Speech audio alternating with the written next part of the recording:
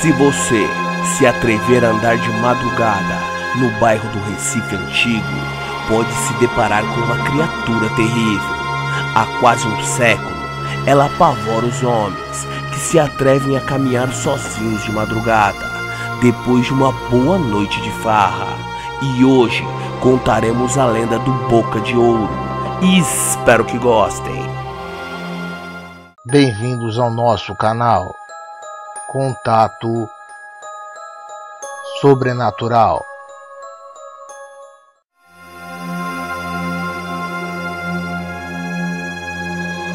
O Boca de Ouro é um ser misterioso que traja as vestes de um boêmio e esconde uma mistura de zumbi e demônio. Gilberto Freire, no livro Assombrações do Recife Velho, conta que esta assombração não era exclusiva do Recife, tendo também sido registrada em outras cidades do Brasil.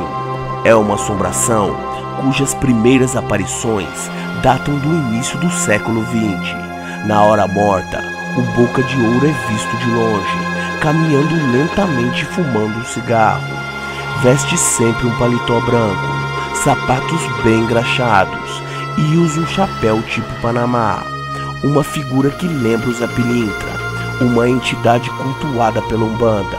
Ele aborda os caminhantes solitários que vagam pelas ruas desertas e sempre pede fogo para os desavisados.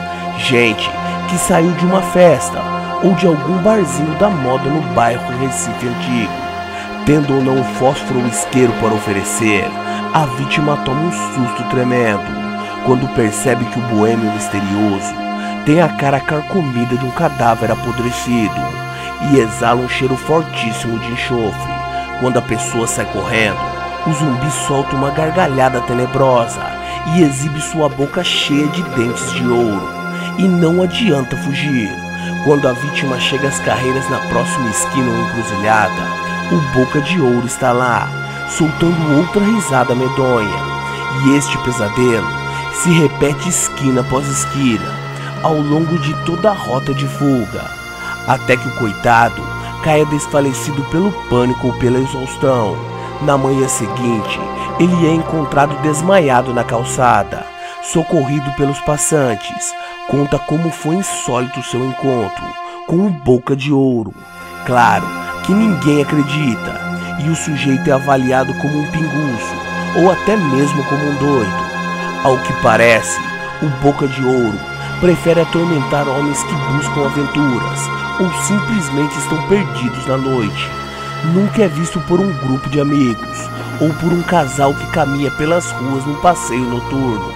Talvez ele seja uma penada de um malandro que cometeu todos os pecados da boemia, namorou diversas mulheres, apostou todo o dinheiro em jogos de azar e bebeu muito além da conta.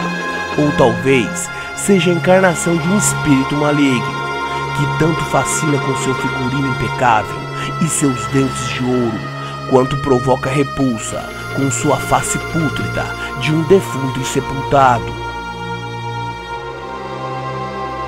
E espero que tenham gostado demais desse vídeo. E se você gostou, compartilhe nosso vídeo com seus amigos. Isso ajuda muito no crescimento do canal. E se ainda não é um sobrenatural, inscreva-se e não perca nossos próximos vídeos. Um muito obrigado a todos vocês que nos acompanham e até o nosso próximo vídeo.